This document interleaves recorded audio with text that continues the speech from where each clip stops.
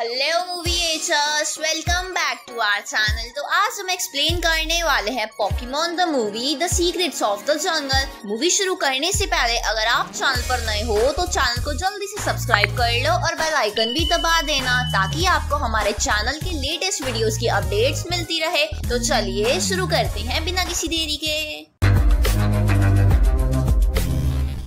Movie की शुरुआत में हम एक जंगल में जारूड नाम के कुछ पॉकीमोन्स को देखते हैं। जो दूसरे पॉकीमोन्स का खाना छीन कर खा रहे थे, तभी उन जारूड पॉकीमोन में से एक पॉकीमोन जिसका नाम जूडो था, उसको पास ही से किसी की रोने की आवाज़ आती है। तो जूडो उस आवाज़ की ओर बढ़ने लगता है और थोड़ा आगे जाने पर झरने के पास जूडो को एक इंसानी बच्चा भी मिलता है, जो उसे उसका फादर समझकर उसके साथ खेलने लगता है। पर जूडो को उस बच्चे में कोई इंटरेस्ट नहीं था, इसलिए वो वहाँ से वापस जंगल के अंदर जाने लगता है। लेकिन वो बच्चा जूडो का पीछा नहीं छोड़ता, इसलिए जूडो उस बच्चे को अपने कबीले में ले आता है, जहाँ उसके कबीले वाले उस बच्चे को अपने साथ रखने से मना कर देते हैं, क्योंकि उन्हें डर था कि ये इंसानी बच्चा बड़ा होकर जंगल और इसकी जादुई चीज़ों के लिए खतरा बन सकता है। लेकिन जूडो उन बाकी कबीले वालों के मना करने पर उस कबीले को ही छोड़ देता है, क्योंकि वो उस बच्चे को अकेला नहीं छोड़ सकता था।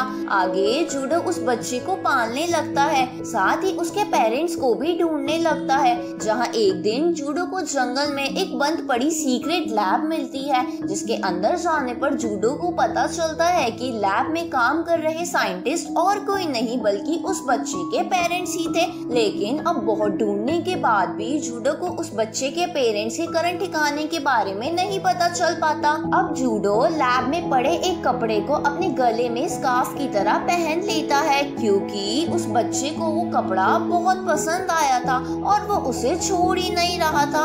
अब धीरे धीरे समय बीतता जाता है और वो बच्चा भी अब बड़ा हो जाता है, जिसका नाम जूडो कोको रखता है। साथ ही जूडो ने उस बच्चे को अपने जैसा ही फुर्तीला बना दिया था।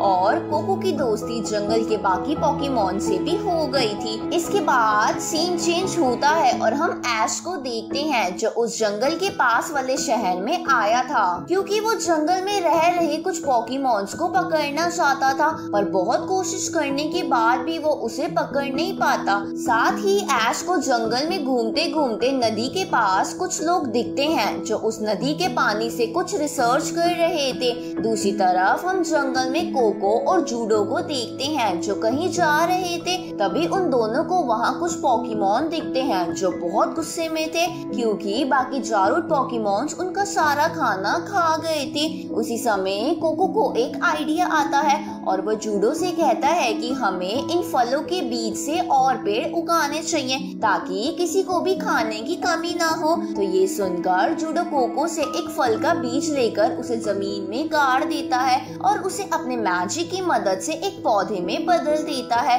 ये देखकर वहाँ खड़े सभी पॉकीमोन बहुत खुश होने लगते हैं। तभी वहाँ पर एक पॉकीमोन आकर कोको को बताता है कि नदी के पास दो तो पॉकीमोन आपस में लड़ रहे हैं। तो कोको उन दोनों का झगड़ा सुलझाने के लिए वहाँ चला जाता है, पर वो दोनों पॉकीमोन कोको की बात भी नहीं मानते और उसे भी दूर फेंक देते हैं। साथ ही उन दोनों में से एक पॉकीमोन को लड़ाई की वजह से बहुत ज़्यादा चोट लग गई थी, इसलिए कोको उस पॉकीमोन को अपने साथ जंगल के जादुई तालाब में ले जाता है, जिसकी वजह से उस पॉकीमोन की सारी चोट ठीक हो जाती है। लेकिन तभी वहाँ जारूट के कबीले का एक पॉकीमोन आ जाता है जो आते ही कोको पर हमला कर देता है, क्योंकि उसके अकॉर्डिंग ये जादुई पानी और जंगल की बाकी चीज़ें जारूड कबीले की हैं और इस पर इंसानी बच्चे का कोई हक नहीं है। अब वो जारूड पोकेमोन बहुत ताकतवर होने की वजह से कोको पर भारी पड़ने लगता है,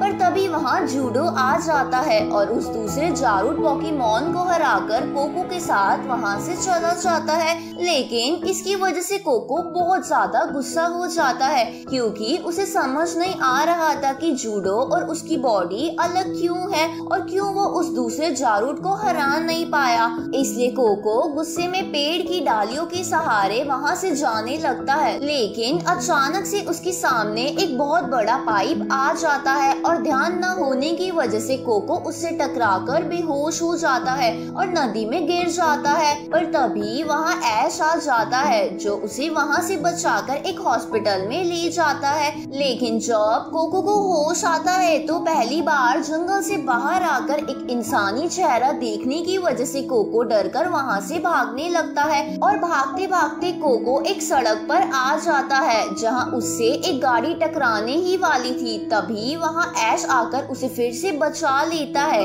आगे ऐश कोको से दोस्ती करने के लिए अपना हाथ आगे बढ़ाता है तो कोको भी अपना हाथ ऐश से मिला लेता है और उसे ऐसा लगने लगता है कि वो भी एक इंसान ही है। इसके बाद ऐश कोको को शहर घुमाने ले जाता है, जहाँ वो सब बहुत इंजॉय करते हैं। और शाम को जब वो सब घूम रहे थे तो कोको को पास से एक पॉकीमोन की आवाज़ आती है, जो एक ड्रेनेज पाइप से निकलने के लिए मदद मांग रहा था, क्योंकि वो पॉकीमोन गलती से उसके अंदर गिर गया था। अब आवाज़ को सुनकर कोको उस तरफ़ बढ़ने लगता है और बड़ी मेहनत करके उस पॉकीमोन को ड्रेनेज पाइप से बाहर निकाल देता है, जिसे देखकर ऐश चौक जाता है, क्योंकि कोको बहुत तेज़ी से ड्रेनेज पाइप पर चढ़ गया था। दूसरी तरफ़, हम टीम रॉकेट को देखते हैं, जो उन्हीं लोगों की लैब में काम कर रही थी, जो लोग नदी के पास रिसर्च कर रहे थे। आगे कोको वापस से जंगल में जाने लगता है, क्योंकि उसे जूडो की याद आ रही थी। तो ऐश भी अपने पिकाचू के साथ उसके पीछे जाने लगता है, पर थोड़ा आगे जाने पर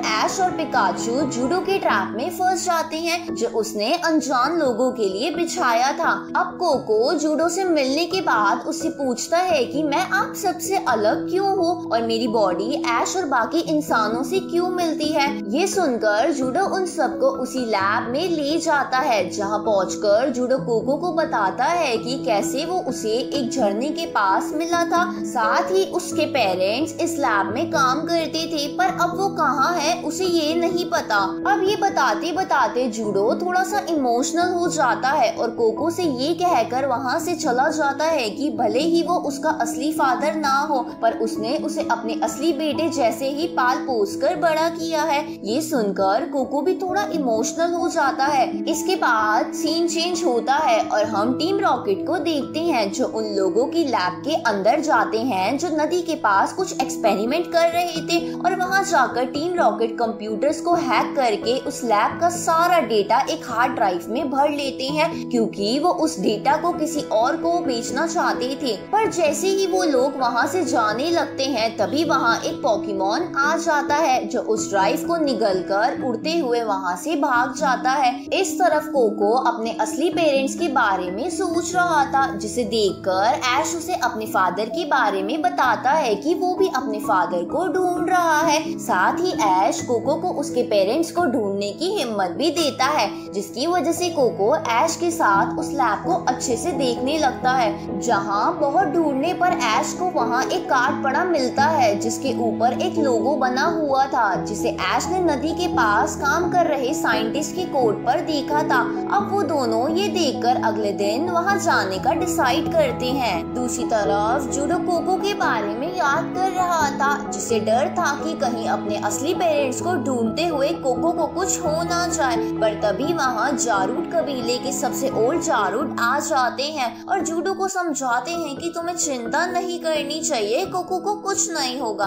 अगली सुबह ऐश कोको के साथ उसी लैब में आ जाता है, जहाँ उन दोनों को एक डॉक्टर मिलते हैं, जो उनको बताते हैं कि कोको के पेरेंट्स हमारे ग्रुप के ही साइंटिस्ट थे जिन्होंने जंगल में एक हीलिंग लेक की खोज की थी। पर कुछ दिनों बाद अचानक से वो दोनों मारे गए थे और पता नहीं उन्होंने कोको को कब जंगल में छोड़ दिया था।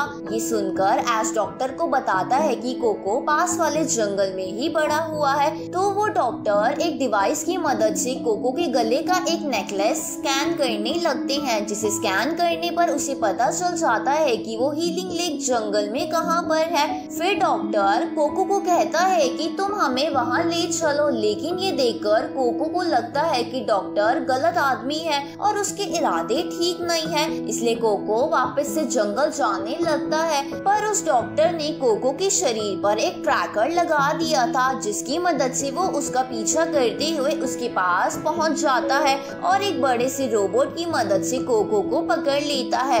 ये देखकर ऐश कोको को बचाने की कोशिश करता है और वो पिकाचू की मदद लेकर इसमें कामयाब भी हो जाता है। पर तभी डॉक्टर के कुछ रोबोट स्पाइडर्स वहाँ आकर उन दोनों को जाल में लपेटकर एक गाड़ी में डाल देते हैं। इसके बाद डॉक्टर तेज़ी से उस रोबोट और अपने कुछ साथियों के साथ उस हीलिंग लेक तक पहुँच जाता है और वहाँ पहुँच डॉक्टर उस लेक का एनर्जी सोर्स ढूँढने लगता है। तो डॉक्टर के साथी उसे बताते हैं कि इस लेक के बीच एक पेड़ है, जिसके अंदर इस लेक का एनर्जी सोर्स है। ये सुनकर डॉक्टर वहाँ लगे एक पेड़ को तोड़ने की कोशिश करता है, ताकि वो उस एनर्जी सोर्स को चुरा सके। अब ये देखकर जारूड पॉकीमोन डॉक्टर को रोकने की कोशिश करता है, पर रोबोट के ज़्यादा ताकतवर होने की वजह से वो पॉकीमोन हारने लगता है। साथ ही उसे बहुत ज़्यादा चोट भी लग जाती है। दूसरी तरफ़ एश पिकाचू की मदद से सबको आज़ाद कर लेता है। इसके बाद एश और कोको हीलिंग लेक की तरफ़ निकल जाते हैं और यहाँ टीम रॉकेट फिर से उस लैब के डेटाबेस को चेक करने लगती है, जहाँ उन्हें पता चलता है कि डॉक्टर बहुत ज़्यादा बुरा आदमी है, जिसके इरादे बिल्कुल गलत हैं। इस तरफ़ ऐश और कोको वहाँ पहुँच उस जारूद पॉकीमोन को वहाँ से बचाकर उसे बाकी कबीले के पास ले आते हैं, जहाँ वो जारूद पॉकीमोन बाकी कबीले से डॉक्टर से लड़ने के लिए मदद माँगता है तो अपने जंगल को प्रोटेक्ट करने के लिए बाकी सबको को और सबका साथ देने के लिए तैयार हो जाते हैं इसके बाद वो सब उस जख्मी जारूद को वहीं छोड़कर डॉक्टर से लड़ने के लिए निकल जाते हैं, पर वो सभी जारूद मिलकर भी उस रोबोट की ताकत का सामना नहीं कर पा रहे थे, क्योंकि उस रोबोट के ऊपर एक शील्ड लगी हुई थी, जिसे तोड़ना बहुत ज़्यादा मुश्किल था।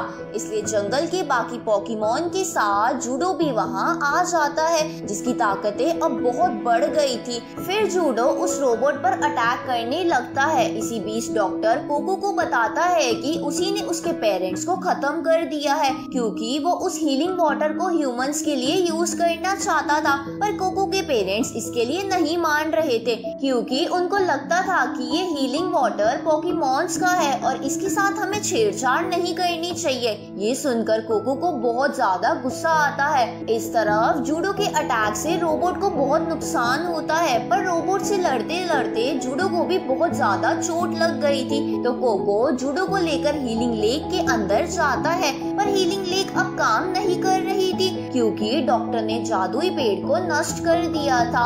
अब इसकी वजह से कोको बहुत दुखी होने लगता है। तभी उसके अंदर से बहुत ज़्यादा एनर्जी निकलने लगती है।